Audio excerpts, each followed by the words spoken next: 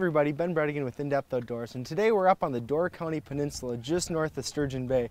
If many of you don't know, this is one of the premier smallmouth bass fisheries in the entire nation right now. So today I got the scuba gear with, and we're looking to learn what these fish are relating to. Uh, the fish are in the pre-spawn, transitioning to the spawn stage. So I want to get down under the water and see what those fish are actually relating to and what they're doing. So hopefully we find some fish pre-spawn that are cruising and then also some that are on the beds we could have a little fun with. So let's get out there. All right, so we're gonna head down there. Uh, the first thing I noticed was when we headed underwater was the amount of current that was down there. I mean, it took a lot of effort to simply stay stationary, much less move forward. You can kind of see all the particles floating past me here, but um, it didn't take long for us to find our first smallie. And the area we found it in was just kind of this rocky, sandy area. Um, as you can see on the rocks, there's all these zebra mussels. The sand is covered in zebra mussel shells. But uh, where this guy liked to hang out most often was a two foot drop from a really rocky area and it would drop down a little bit to this rock sand area. You can see right here he's kind of coming up it. Um, that's where I saw most of the fish traveling. It wasn't a very big drop, but uh, that's where I saw 90% of the fish here.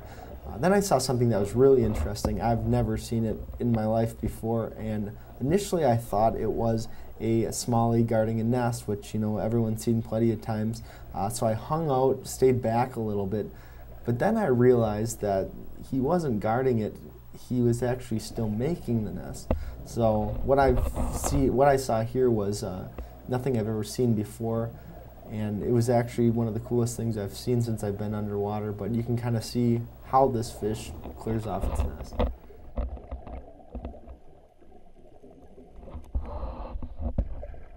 So that right there is how Smalley clears off his bed, and something I've never seen before really interesting. So I had to go to the surface, tell James and Adam Rasmussen about it.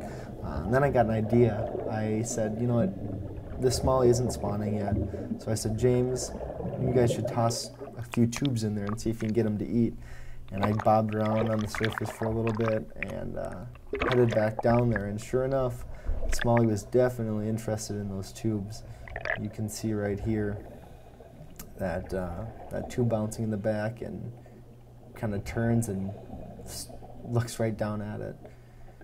And one observation I had was that a lot of the times James and Adam they were moving their tube too quickly.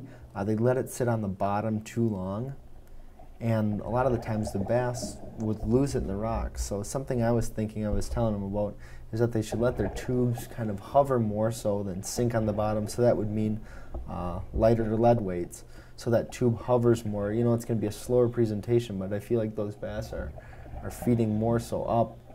So then I thought, hey, why should they have all the fun? So I grabbed the line with about a two foot section of line to the tube and just jiggled it in front of its face. And this was inches from my face, and he just whacked it. So that was pretty cool. But that's all I've got here from Sturgeon Bay. Um, when I see you next, I'll be in Cass County up in northern Minnesota. Uh, very clear lake, and I found some cool stuff and saw a ton of bass.